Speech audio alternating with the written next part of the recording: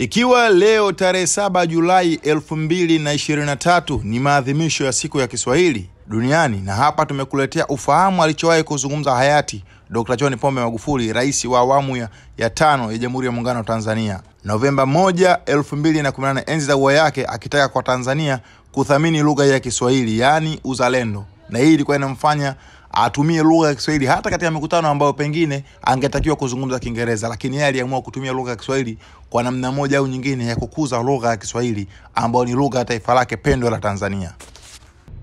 Swala la Kiswahili ni muhimu kweli,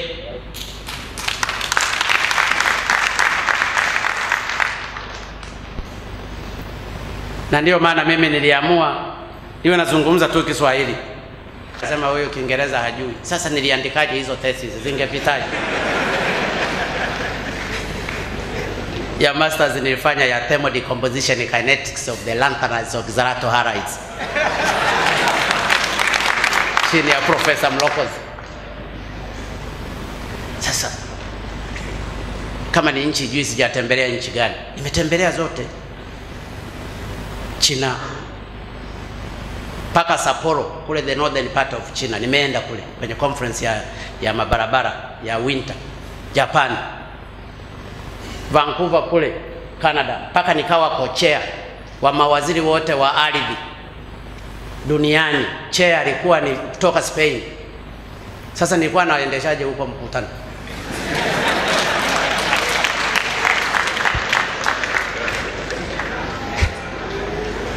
Denmark kule kwenye Norwegian Public Road of Administration, sijui wapi nizungumze. Ujerumani walitaka nizungumze Dankeschön ovidasin. Sasa wapi? Ufaransa. Napafahamu kila mahali, lakini Utanzania kwanza.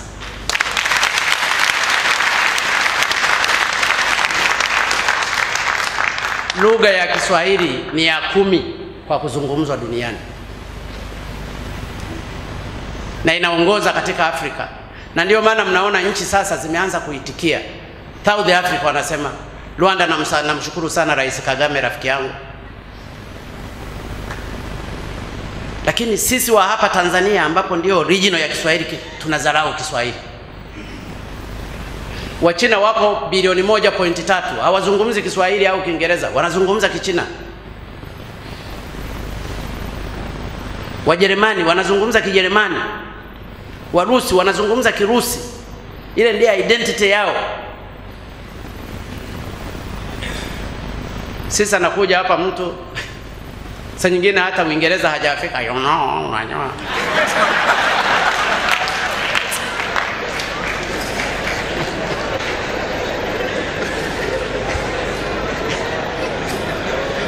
Kiswahili kina history kubwa katika nchi, na ndiyo maana baba wa taifa aiweka nchi hii akaunganisha makabila zaidi ya mia moja ishirini na moja kwa lugha hii ya Kiswahili. Ni lazima tuienzi hii identity yetu. Kujua lugha zingine wala hamna tatizo, unaweza ukajua lugha zingine tu, ni kama ambavyo ungeweza ukajua Kijaruo ya Oreangema Wachima Dara Machikina au ukajua Kinyarwanda Mwaramse au ukajua Kiganda Mwibare Nyosebo na kadhalika. Zile ni lugha lakini basi tujue Kiswahili ndio ruti yetu. Kwa hiyo ninakushukuru sana Profesa Paul kwa hii mada ambayo itatusaidia katika kumove forward.